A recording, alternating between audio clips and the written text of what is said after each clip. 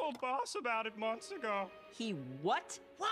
They say insane shit all the time. How was I supposed to know this one was true? Bank accounts are a scam created by the shadow government. See?